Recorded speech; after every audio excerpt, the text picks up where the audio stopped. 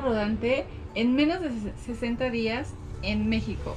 Si no nos conoces, soy Goretti. Y yo, Arturo. Y juntos estamos haciendo la camperización de nuestra Ford Transit en México. Y lo genial es que lo vamos a hacer en menos de 60 días. En este capítulo vamos a hablar de cómo instalamos la cama y las vistas o las tapas de la camioneta. Bienvenidos a Lola. Claro, así bautizamos a nuestra Ford Transit. ¿Y dónde estamos? El día de hoy estamos en Morelia porque venimos a visitar a, a la familia. Su tía nos va a ayudar con la cocina. Creímos muy importante que alguien nos apoye más especializado.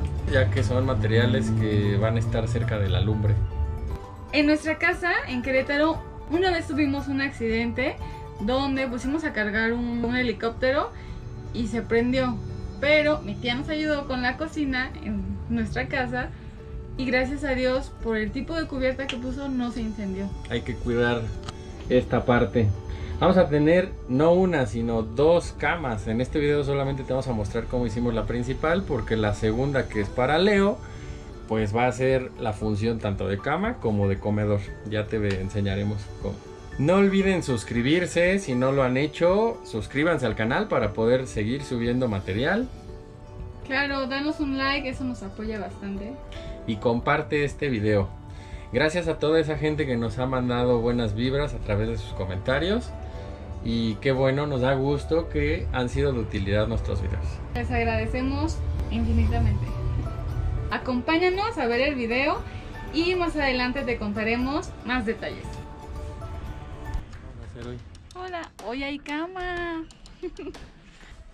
Es este. Con doble soporte en medio, porque la pedimos más delgada de esta parte para que no nos haga mucho, no nos quite mucho espacio hacia arriba, pero con doble soporte. Para la instalación de la cama se nos hizo más sencillo mandar a hacer la base y ya con la base pues solamente colocarla. Pues es más fácil porque los cortes van a ser rectos a que lo hagamos nosotros con caladora y nos vayamos medio chuequitos. Entonces mandamos a hacer este lienzo de 1.20 por 1.75 que es lo que mide de la pared de nuestra camioneta a la otra pared. Lo hicimos de esta manera para poderle poner las, las patas y que quedara bien fijo. Ah, tenemos una tolerancia todavía aquí hacia el vidrio. Entonces aquí le vamos a poner algo que nos permita tener un colchón desde este extremo hasta este extremo. Entonces así ya nos va a dar un colchón de más de 1,80 de largo, lo cual me va a permitir pues estar estirado porque yo mido 1,76. Para la instalación de la base, pues lo que nosotros hicimos fue primero poner seis escuadritas, tres de cada lado. Aquí las podemos ver, que son las escuadras que nos permitieron que la cama estuviera soportada eh, sin que nadie la estuviera deteniendo. Posteriormente a eso compramos una tira de madera más gruesa como de pulgada y media uh, para hacerle las patas. Entonces fuimos midiendo cada pata para irlas poniendo. Tenemos seis patas. Aquí tenemos la primera. Se ancló con unas pequeñas escuadras y con unas soleritas directamente a, lo que es el piso de nuestra camioneta porque realmente no ocupamos que estén sumamente fijas sino que nada más no se nos muevan de este lado tenemos las patas centrales que van apoyadas sobre la salpicadera, la cual la pusimos con una pija y del mismo sistema. Y de este otro tenemos la última patita de este lado. De este lado hicimos lo mismo. Aquí tenemos la pata de la esquina, la pata central y esta otra pata. Y con eso tenemos nuestra cama ya terminada. Ya nada más nos falta pues eh, la parte del colchón y ponerle algunas tapas. Para la parte de los laterales de todo esto usamos triplay de 6 milímetros. Es un triplay bastante, bastante delgado, fácil de trabajar. Y lo que hicimos fue ir midiendo y poniendo tapas. Aquí tenemos una tapa lateral, tenemos otra tapa sobre la salpicadera, le dimos la forma de la salpicadera y dejamos estos soportes que son súper importantes porque de aquí nos estamos anclando directamente al chasis para soportar nuestros tanques de agua y el tanque de gas. En ambos extremos tenemos lo mismo, también las mismas tapas. En la puerta también pusimos una tapa. Todo, todas las tapas las pusimos con pijas y le estuvimos dejando pues aquí por ejemplo la parte de, del seguro de la camioneta. Eh, quitamos estas piezas para, para que siguieran permaneciendo con las piezas originales. Y bueno, esto ya nos fue deteniendo nuestro aislante. Eh, acá tenemos otra tapa. Si se fijan también tiene aislante. Y las tapas de arriba. Todo esto solamente es para proteger nuestro aislante y también para que no se vea tanto la lámina. Acá van a ir unos muebles, entonces todo esto va a pasar a segundo plano y las pocas vistas que nos queden como todo lo de acá atrás, ya veremos en futuros videos cómo hicimos que quedara padre, porque todavía nos falta como un tapiz o algo.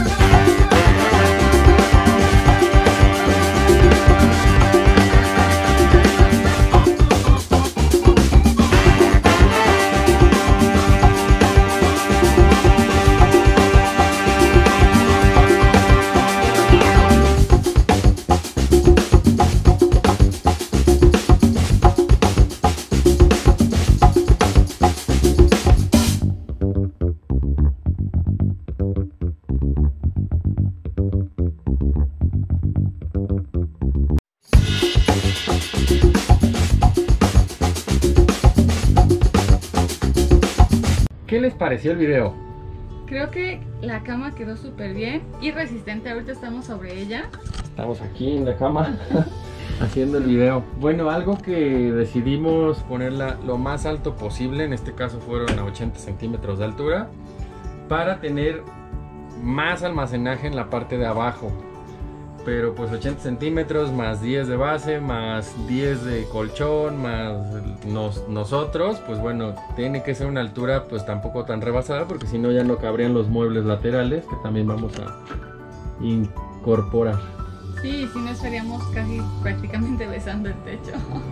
Si te gustó nuestro video, danos un like, Suscríbete compártelo y síguenos. y recuerda viajero, nos vemos en la carretera. you